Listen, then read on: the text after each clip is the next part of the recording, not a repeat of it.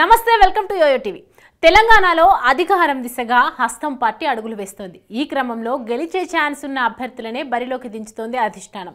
ఇప్పటికీ రెండు జాబితాలను విడుదల చేసింది. ఈ రెండు జాబితాల్లో కొత్తగా చేరిన వారికే ఎక్కువ ప్రాధాన్యత ఇచ్చారన్న విమర్శలను కాంగ్రెస్ పార్టీ ఎదుర్కొంటోంది.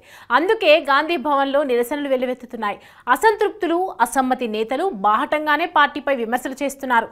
టికెట్లు అబ్బుకున్నారన్న ఆరోపణలు కూడా వెల్లువెత్తుతున్నాయి. బీఆర్ఎస్కు వ్యతిరేకంగా దాదాపు తొమ్మిదేళ్ళ పాటు పోరాటం చేసిన వారిని పక్కన పెట్టడమేంటన్న ప్రశ్నలు వస్తున్నాయి.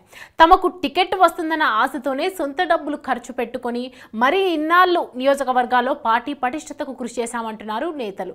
సభలకు సమావేశాలకు జనాలను కార్యకర్తలను తరలించడానికి తమ ఆస్తులను కూడా కరిగించుకున్నామని లీడర్లు వాపోతున్నారు. తీరా ఎన్నికల సమయానికి వచ్చేసరికి తమకు సీటు ఇవ్వకుండా బలి చేశారని త్యాగాలకు సిద్ధం కావాలని పిలుపునివ్వడం ఎంతమాత్రం సమంజసం కాదన్న కామెంట్స్ పార్టీ నేతల నుంచి వినిపిస్తున్నాయి.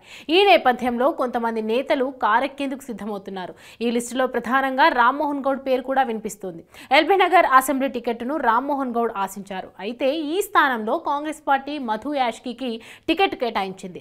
దీంతో అసంతృప్తితో ఉన్న రామ్మోహన్ గౌడ్ కాంగ్రెస్ పార్టీని వీడాలని భావిస్తున్నారు. తెలంగాణ మంత్రి హరీష్ రావు రామ్మోహన్ గౌడ్ ఇంటికి వెళ్ళి బీఆర్ఎస్లో చేరాలని ఆహ్వానించారు. ఈ ఏడాది అక్టోబర్ పన్నెండవ తేదీన రామ్మోహన్ గౌడ్ కాంగ్రెస్ పార్టీని వీడి బీఆర్ఎస్లో చేరారు. LB Nagar assembly ticket Rammohan గౌడ్కు దక్కలేదు. రెండు వేల పద్నాలుగు అసెంబ్లీ ఎన్నికల్లో ఎల్బీ నగర్ అసెంబ్లీ స్థానం నుంచి రామ్మోహన్ గౌడ్ బీఆర్ఎస్ అభ్యర్థిగా బరిలోకి దిగి ఓటమి పాలయ్యాడు. ఆ ఎన్నికల్లో టీడీపీ అభ్యర్థిగా బరిలోకి దిగిన ఆర్ కృష్ణయ్య చేతిలో ఎం రామ్మోహన్ గౌడ్ ఓటమి పాలయ్యారు. రెండు వేల పద్దెనిమిది ఎన్నికల్లో కాంగ్రెస్ అభ్యర్థిగా ఎల్బీ నగర్ నుండి దేవిరెడ్డి సుధీర్ రెడ్డి పోటీ చేసి విజయం సాధించారు. ఆ తర్వాత రాజకీయ పరిణామాలతో దేవిరెడ్డి సుధీర్ రెడ్డి బీఆర్ఎస్లో చేరారు. ఈ దఫా కూడా సుధీర్ రెడ్డికే బీఆర్ఎస్ టికెట్ కేటాయించింది.